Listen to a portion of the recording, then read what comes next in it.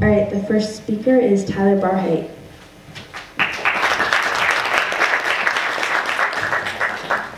Yeah, there's not enough people here to use a mic.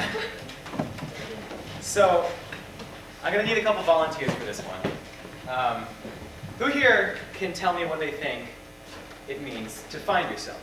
And I actually want people to answer this question. Does nobody know what it means to find yourself? Meditation on a mountain for five years. That's one way to do it. All right. Anybody else? Turn on the lights. Okay. Uh, So uh, I'm here to tell you that you're all wrong. So I've been doing, I was doing research on how to do a TED Talk, because I've never given one before, obviously, and I kept hearing the same thing, uh, which is that if you want to be a speaker on the TED stage, you should be an expert in what you're talking about. Um, the problem with that is that I'm not an expert, and I was actually kidding. I have no idea what the answer is to that question. But I still think I might have something to say. So I was just in the musical Camelot, and every year the High School Musical hosts a cast rave. And at this rave, it's at a dance studio, and there's two rooms. There's the main room, which is where there's like food and we get together and hang out, and then there's the other room, which is where uh, there's the dance goes on, and that's like a traditional ballet studio with ballet bars and mirrors, etc. So what they do is they turn off the, the big headlights and they turn on like rave lights and blast music, and everybody goes in there and dances and have has fun. Um, now, I don't hate dancing, but the only kind of dancing that I actually like to do is the kind that's been choreographed for three months. So you can imagine the situation that I was in when I went in. Um, so one of my good friends, Dan, is a complete nerd. Um, Thanks. and he, I mean, he, if you ask him about like Game of Thrones or Lord of the Rings, he will go on for hours telling you about it. He can, literally. He knows everything there is to know. And so I was in the middle of reading The Fellowship of the Ring, and uh, which is the first book in the Lord of the Rings trilogy, and I figured that's my key to not dancing for the next three hours. I'm going to sit out here in the first room with Dan for three hours and talk to him about the Lord of the Rings. And then everyone's going to have fun. We're going to have a good conversation. Um, but 30 minutes into this, he was like, all right, I'm going to go dance. So I was out in, in the first room, and he was dancing, and I felt, I felt weird. I, I felt like I didn't want to dance, so I just decided to, you know, kind of stay out and, and avoid eye contact with people and just be like, yeah, I'll go in in a minute. Um, and a few minutes later, actually, Dan came in, back into the first room, and took me by the arms, and he flung the door open to the dance room and threw me into the room. And I was on my hands and knees sliding across the floor. And when I was, when I was in there, it was dark, lights were flashing, there was crazy loud music, and everyone was dancing, and everybody saw me. And for some reason, even though I was with a group of people that I loved and cherished, and I spent the last three months dancing, singing, acting, doing a bunch of crazy dumb stuff with, I felt everything in my body told me to get out of there.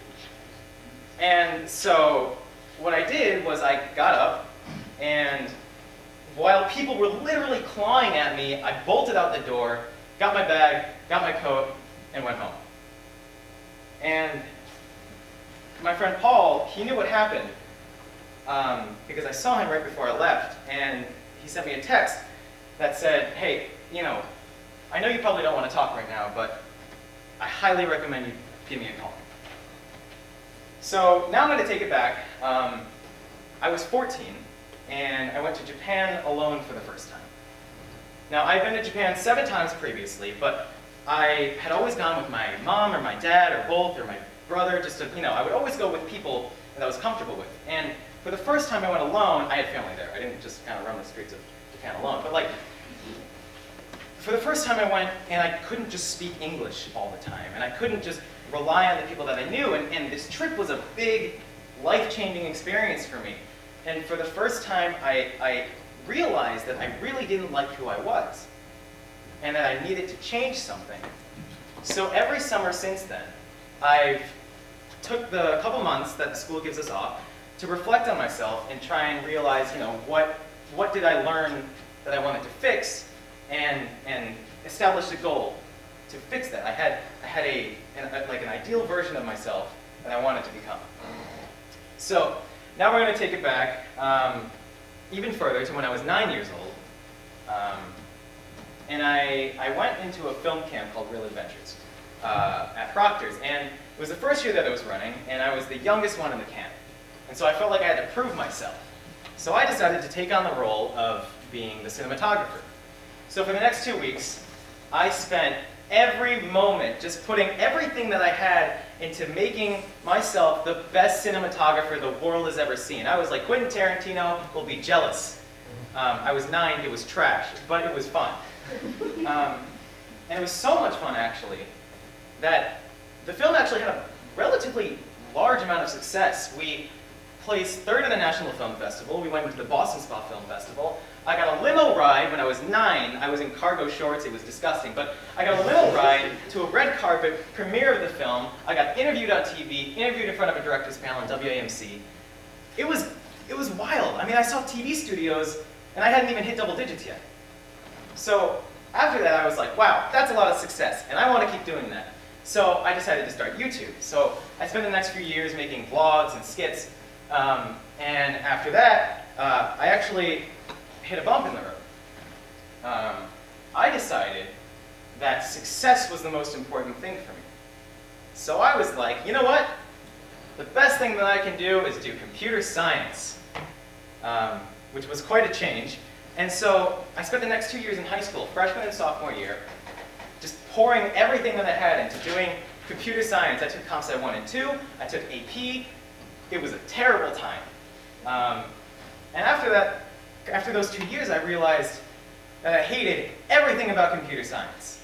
Regardless as to how many times I said I loved it, how many ideas and dreams that I had, it was awful. I hate math. I really do. Um, so I looked at myself after my sophomore year, and I said, okay, you hate what you're doing, and you're not going to do this anymore. So what do you want? And I was like, all right, I'm going to do film because that's what I had the original passion for. I've been doing it for years, and I still loved it. So I continued to do that, and for the next few years, I did uh, commercial work for companies. I did uh, paid gigs for photography. I made a TV commercial. Um, I did a lot of a lot of work. But every time I would do that, I had this idea of success, and that was really all I cared about. Um, so we come to uh, my senior year this year, and I just decide that I should just keep going with this path because last summer I was in a musical at Proctor's. I was working part time, and my grandmother got sick in, in Japan, and I, I had to go to uh, Japan to see her, and it was a lot of emotional, taxing time. So I didn't get that time to reflect on myself that I normally do. And so I went into this year thinking, you know what, it's my senior year, I'm going to do what I want, and I'm just going to kind of go with it. But all year I felt like something was missing. And I, and I couldn't figure out what it was. Um, so we're going to take it back to the original part of the story. Uh, I, I ended up calling Paul that night. And that's when I realized um, every year I had a goal. I had, it, I had an envisioned version of myself that I wanted to strive towards and continue working to be a better person which is what I've always told people. I always want to work to be a better person. Um, but then he asked me what I was doing this year to work on myself, and that's when I realized um, I had done nothing to work on myself. I've lost every path, and I have no goals. And so I freaked out. I was like, oh my goodness, this is the first time in my life that I've never had a path to follow.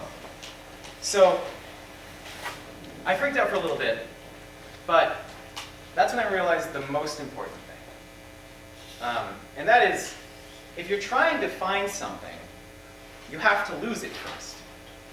So my goal with this talk isn't to give you a life purpose. I don't know who you are. I might actually have a lot of you. Um, but I can't tell you what your life purpose is. I can't give you a path. Um, and if you found that through this talk, you're doing a lot better than I am.